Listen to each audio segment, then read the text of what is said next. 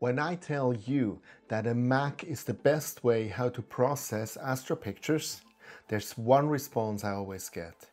Yes, might be, but there's so much Windows software that I have that I cannot use on a Mac that this is not a feasible way. Now, are there ways how we can deal with that? We will look at it right after the trailer.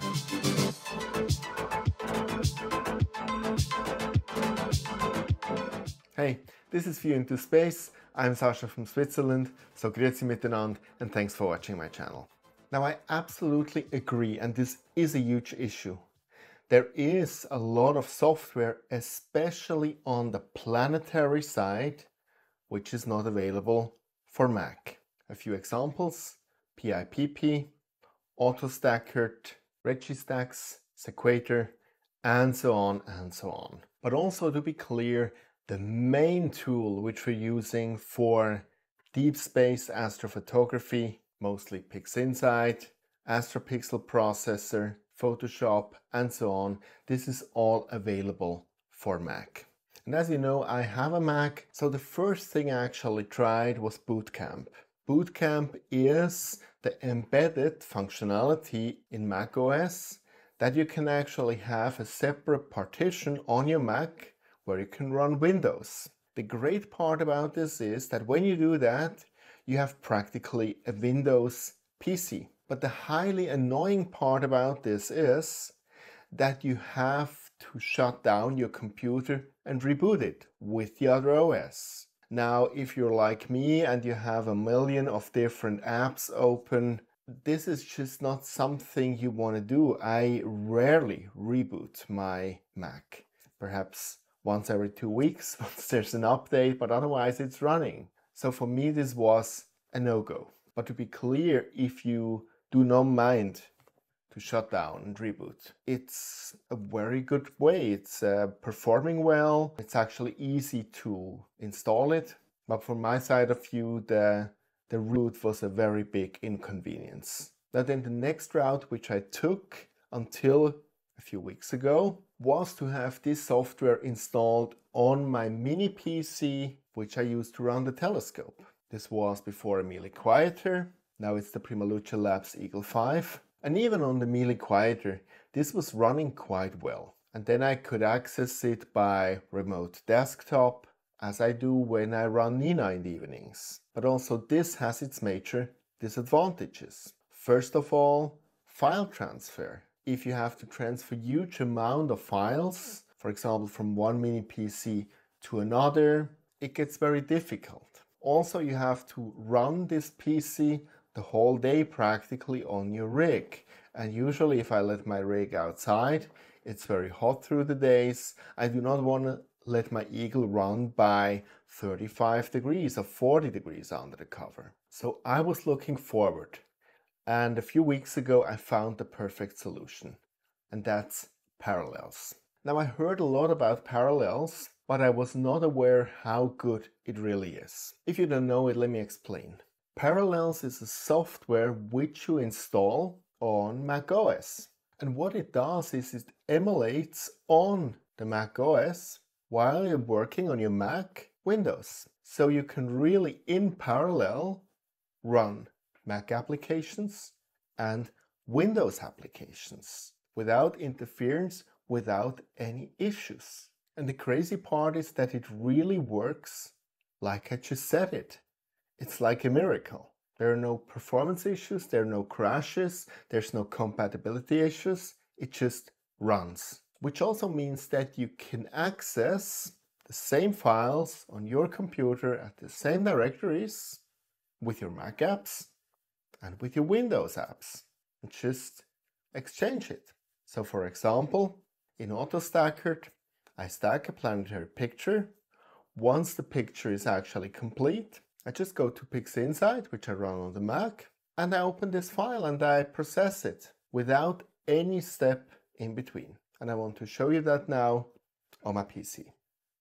Okay, and here we are on the homepage of Parallels. Here you see the different products. You have actually a desktop for Mac or the Pro Edition. And the Pro Edition in principle has just more power, But actually for these things, usually the, the regular one is sufficient. This is by the way updated for the new Mac OS version, so it even is already optimized for Sonoma, but just will come out now in September. You can download a trial version and try it out, convince yourself before you actually buy it. If you want to buy it, there is, as always these days, a subscription model, but also a one-time version. But what was for me the real impressive part was how fast it was installed. Once you actually click here, try free, you get to an install link. And first it installs the application and then, and that is really cool it installs Windows 11. Without that, you have to do anything. It just does it. And when it's installed, you have everything ready, including the Windows 11 version. Now I want to give you here a tip. Now in all of these cases, you need a Windows 11 license, right? So this is not included. No matter if it's Boot Camp or if you install it on your NUC or if you install it here, you need a Windows license. And these licenses, they're rather expensive. If I just go now to Google Microsoft Windows 11 license, Microsoft Windows 11 Pro costs, this is in Swiss francs, so this is about $145. This is officially how much a Windows 11 Pro license costs. Now let's for something else. Microsoft Windows 11 license OEM.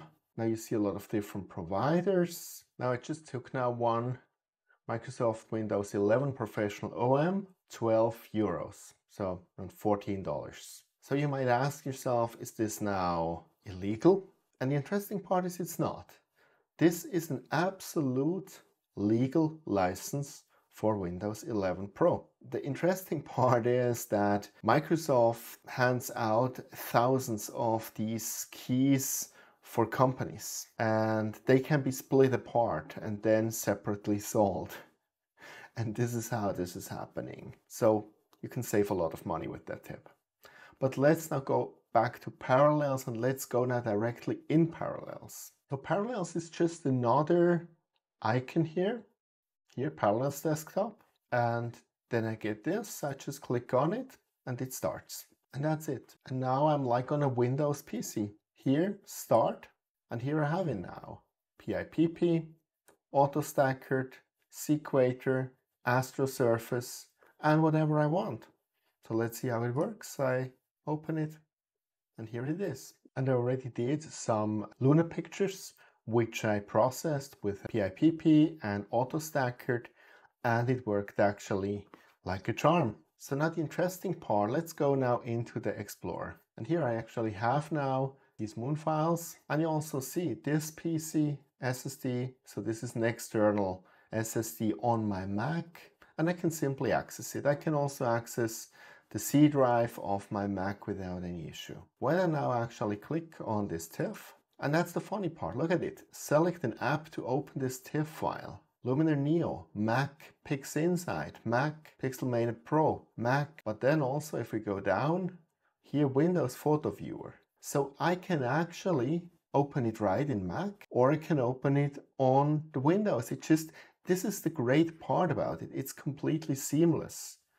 So if I take now the photo viewer, it goes up here. But just to demonstrate now, I can also go now to another moon picture, open with, say now PixInsight. You see it already opened it in here. And you see now also below here that even the AutoStakkert is here a separate icon which looks no different than all the other icons from my Mac. So I can simply go back again on AutoStakkert.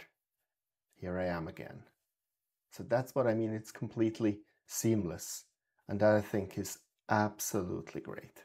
Okay, that was it. I hope that was helpful and I hope you understand my excitement. To be clear, I have no affiliation with Parallels.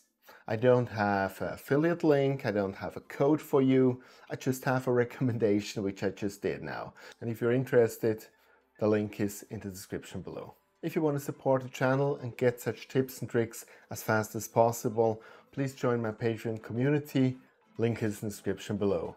See you next time and clear skies.